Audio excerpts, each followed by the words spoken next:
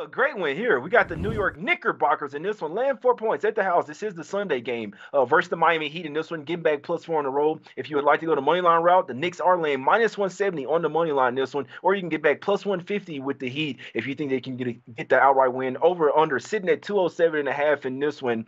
Uh, Josh, what do you think happens in this one, my brother? Uh, Heat come out shooting some uh, some really great shooting games. All liars in my opinion, but we'll see if they can keep it going up. Mainly Jimmy Butler. They hadn't been able to stop him here. Do you think that the Knicks? We know that I need to see what's up with Grimes because it looked like he kind of separated his shoulder. He's probably their best defender outside of Josh Hart. We need to see what's up with him because I think that they could mean huge on the series to guarding Jimmy Butler.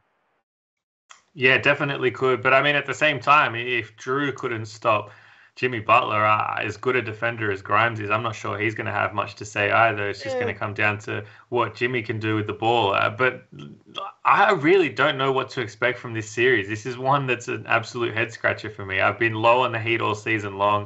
Uh, I like the Knicks, but I don't think we learned much from them in that Cleveland series. The Cavs just look like deer in headlights throughout the entire playoffs. They just simply weren't ready, and I think all of their flaws got sh- exposed very, very quickly by uh, this Knicks team. So I don't know what to expect from the series, but I do think that game one in particular, and potentially the rest of the series as well, if we're going to keep getting a number this low, that total is. Uh, for me, a few points shy of where it should be. I think we're getting to take advantage of what was an absolute rock fight in that Knicks Cavs series.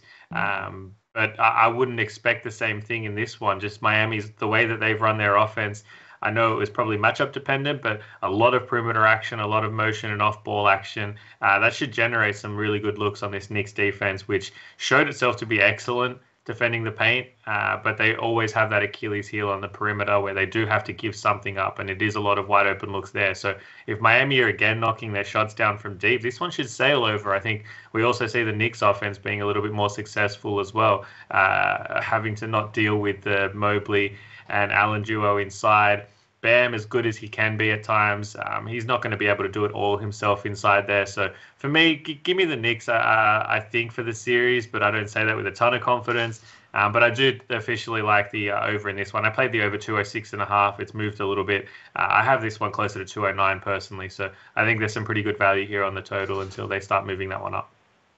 The Knicks are winning this series, man. I think the Heat. I'll tell you this. I like Jrue Holiday but my guy is getting old. I believe he's like 34, 35 now. This you're you're not the same defender. You don't have the same lateral foot speed. You don't have the same stamina as well. So I love Jrue Holiday, but he's nowhere near the same defender as he was there. So uh, Jimmy's gonna have a lot bigger. And I just they just weren't coached well, simply put there, Alex. But I think the Knicks win this series for sure. I think the Heat's luck run out. Jimmy Butler's still a baller. Double team him, make the rest of the team beat you. We know their shooters don't really play the same on the road. Uh, Julius Randle's health is not the best, right? So you got to worry about that. But no, neither is Bam Adebayo. This is a smaller team. Mitchell Robinson's to eat on his uh, rebounds in this one.